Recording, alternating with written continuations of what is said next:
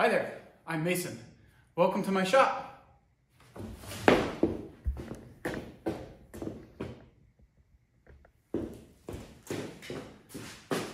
And welcome to my paint booth. So I've been getting ready to paint this dresser project that I've been working on. And I always like spraying my projects because you just get a better finish and it's more efficient. But it does take a lot more prep. So I wanted to walk you through all the things I've done to prep the space for spraying. The most dramatic thing I've done to this space to get it ready for spraying is to hang plastic from the walls. I did this by duct taping some 6 mil plastic to some PVC pipe and then just hung it from the ceiling from screws. That way, when I'm done, I can roll up the plastic and just put it away for easy storage. The other thing you want to do if you care about your floors at all is cover them. Spraying gets overspray everywhere. So I've got about a 20 foot by 20 foot section covered with plastic and I'm only going to be spraying in that one small, small corner to keep the overspray from getting further out. So let's just take a quick look at all the things I've got set up on my bench to make sure spraying goes efficiently and cleanly. So this is just a Costco folding table that I've covered with yet more plastic. And then on it, I've got my HVLP gun that is just a Home Depot brand, nothing fancy. Uh, it's in a stand, uh, which is important for this guy. Your filter. And you keep more filters right behind the gun. Then to the right of the gun, in its stand, I keep the bucket of paint. That way you could just move this guy over. Plenty of paint sticks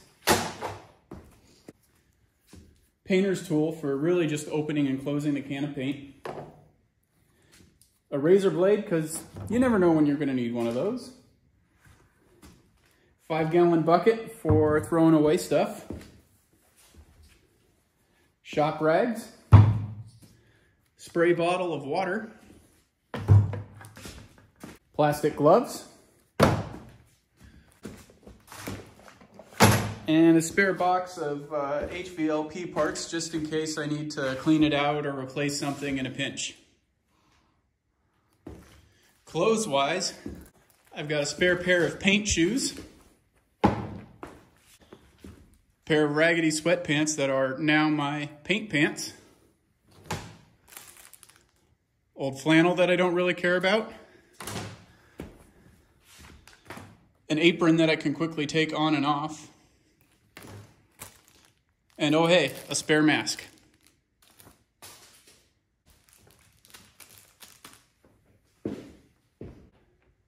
This table is where a bulk of the action is going to happen.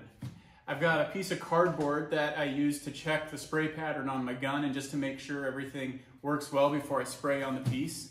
I've got uh, a drawer front here that is going to sit on some standoffs. And yeah, this is just another folding table from Costco.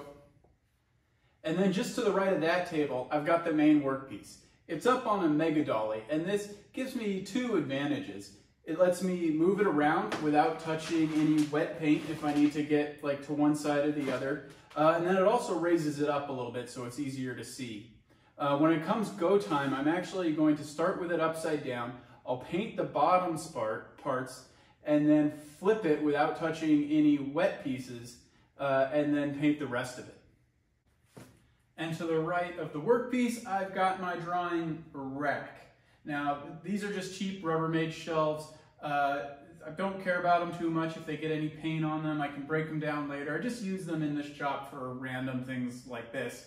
Um, I'll probably get around to building a proper like drawing rack so I can do more than six uh, drawer fronts. Um, but the, the point is they're within easy, uh, quick access of the main spray, spray area so I can spray over there, take one and drop it there, grab another one and swap back and forth until they're all painted.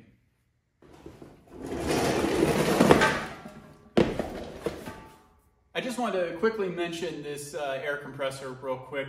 It's got a big old 35 gallon tank. I tried using a five gallon pancake uh, compressor for a while and it really didn't keep up. I got uh, varying spray patterns but uh, I've had great results with this one over the last couple years. So yeah, that's kind of my pre-paint setup checklist. Um, I probably forgot something, but let me know in the comments if, uh, if you think I should include something else in my process. Uh, love hearing from you guys. Um, otherwise, thanks again for tuning in, and we'll see you next time.